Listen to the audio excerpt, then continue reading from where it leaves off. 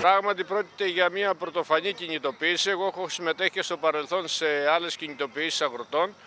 Ωστόσο αυτή η κινητοποίηση είναι πρωτοφανής. Υπάρχουν ε, ε, μπλόκα παντού σε όλη την Ελλάδα.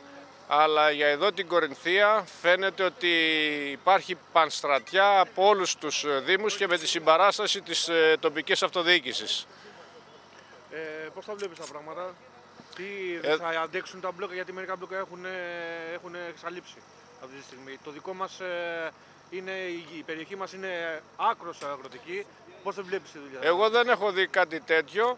Αντιθέτως ε, βλέπω τα μπλόκα ολοένα και κάθε μέρα ενισχύονται και θα ενισχύσουμε και εμείς το- τον αγώνα τους ακόμα περισσότερο όχι μόνο για τα αγροτικά θέματα, δεν είναι μόνο αυτό το θέμα που οι αγρότες ε, έχουν δίκαια αιτήματα, δεν λέμε να μην ε, πληρώσουν και να μην φορολογηθεί το αγροτικό εισόδημα, αλλά αυτό που προτείνει αυτή τη στιγμή η κυβέρνηση θεωρώ ότι εξαντλεί την αγροτική παραγωγή και ο αγροτικός τομέας είναι ο τομέας ο οποίος ε, είναι ε, ο μοχλός της ανάπτυξης της χώρας μας μαζί με τον ε, τουριστικό τομέα. Εάν δεν προσέξουμε τον αγροτικό τομέα τότε δεν έχουμε κάποιο άλλο κίνητρο ως ε, ελληνική οικονομία, δεν έχουμε κάποιο άλλο στήριγμα για να βγούμε από την κρίση. Οι τοπικοί φορείς πρέπει να έρθουν να βοηθήσουν και άλλοι δήμαρχοι.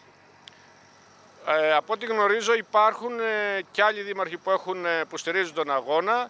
Ε, εδώ στην περιοχή μας είναι σύσσωμη η τοπική αυτοδιοίκηση που στηρίζει ε, τις κινητοποιήσεις και βέβαια υπάρχουν και άλλοι φορείς και άλλοι κλάδοι που ναι μεν έχουν ε, διαφορετικές ε, διεκδικήσεις παρόλα αυτά όμως συμμετέχουν σε αυτόν τον αγώνα να διατρανώσουν συνολικά ε, την αντίθεσή τους στο ασφαλιστικό σύστημα που έχει προτείνει σήμερα η κυβέρνηση.